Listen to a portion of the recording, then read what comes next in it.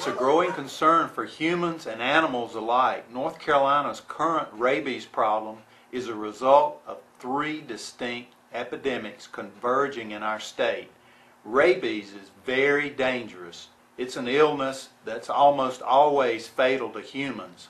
Unfortunately, worldwide, thousands of people die every year from rabies exposure.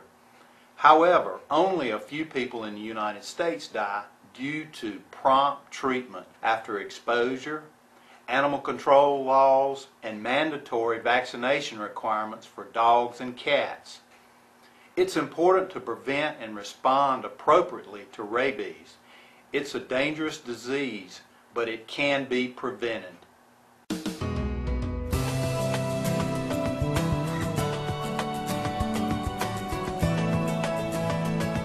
The Alamance County Health Department and Alamance County Environmental Health present Preventing Rabies.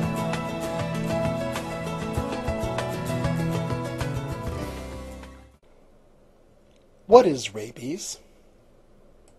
Rabies is a disease that infects the nervous system of humans and other mammals. It's a virus and must enter the nervous system through a bite, cut, or open wound. But it can also enter the nervous system through the mucous membrane when the virus gets into the eyes, nose, or mouth. The virus is present in the saliva and central nervous system fluid of a rabid animal. People are most often exposed to rabies by a bite of a rabid animal, but exposure could occur also if the saliva or central nervous system fluid of the rabid animal gets in a cut, open wound, or the eyes or mouth. People can get rabies when they are exposed and then they don't take proper preventative action. Once a person is exposed, rabies travels along the nerves for a short time, usually 3 to 12 weeks. There may be no symptoms of infection. This is because the disease has not yet reached the brain to cause the deadly encephalitis characterized by the disease. However, once the disease reaches the brain, symptoms will appear, followed by death. What animals can carry rabies? Rabies is a disease carried by mammals, so you can't get rabies from birds, fish, reptiles, or insects. Only mammals. Most rabies infections are found in bats, raccoons, foxes, skunks, dogs, and cats. It can also be transmitted through exposure to infected domestic farm animals, including horses and cattle.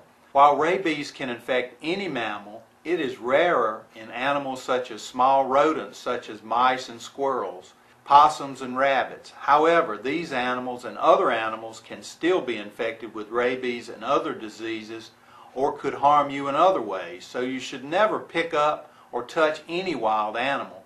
In North Carolina during 2006, 520 animals tested positive for rabies. Since 1990, 7,519 animals have tested positive in North Carolina. Alamance County has documented 88 animal cases of rabies since 1997. There are over 100 exposures due to bites to people from domestic and wild animals and due to bats being found in homes where people were sleeping in Alamance County each year. The last case of rabies in a human in North Carolina was in the 1950s. What can be done to prevent rabies? The first step in preventing rabies is having your dogs and cats vaccinated for rabies by a veterinarian. If you are bitten by an animal, the first thing you should do is wash the wound immediately with warm water and soap and seek medical attention. North Carolina law requires that all dogs and cats be properly vaccinated against rabies.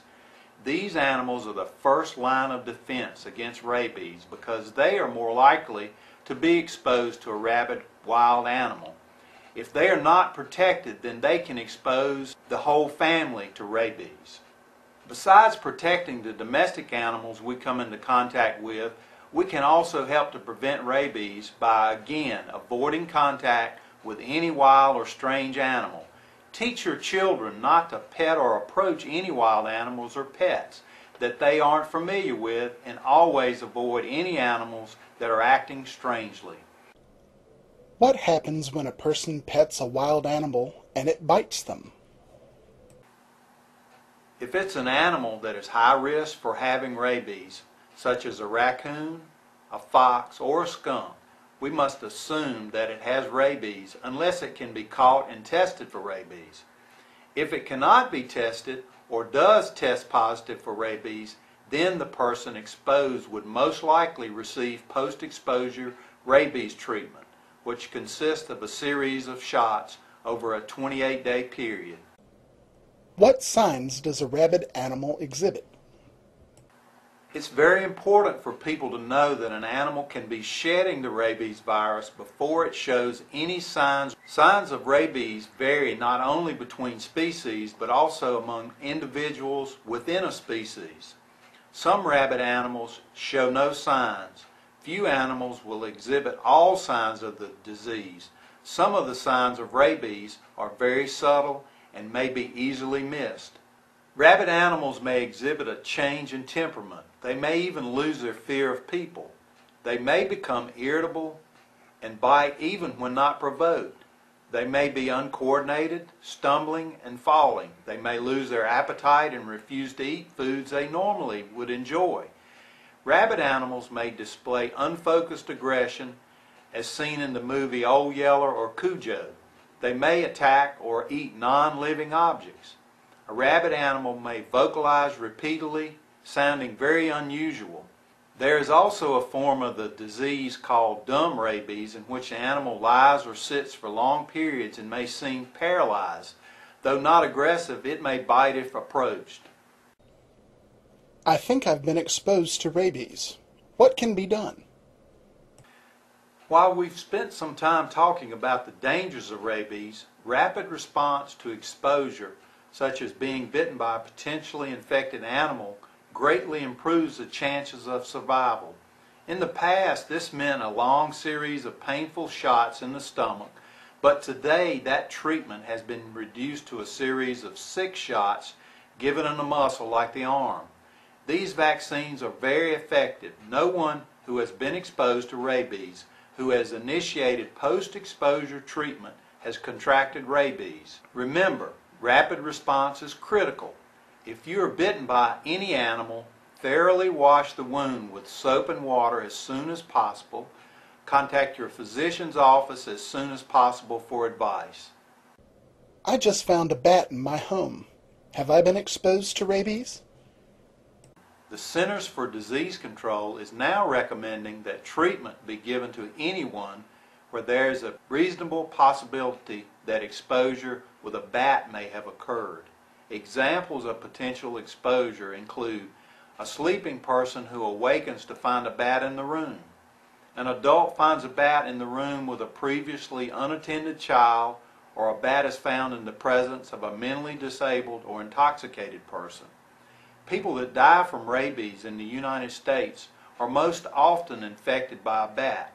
It is very important that if a bat is found and one of the potential exposures has occurred, that the bat be captured by animal control and tested.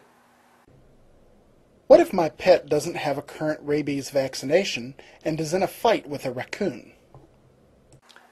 North Carolina law requires that your dog be destroyed or quarantined for six months at an approved animal control facility unless the raccoon can be tested and is found not to have rabies. Rabies is a frightening illness that can be deadly for people and animals. The best first step for avoiding rabies is to vaccinate your pets and other domestic animals. The small cost you pay for rabies vaccinations could save your life the life of someone else, and the life of your pet. For more information about vaccinating your animals, please contact your veterinarian or Alamance County Environmental Health. You can contact Environmental Health at 336 570 6367. Thank you for watching. Remember, be safe and vaccinate.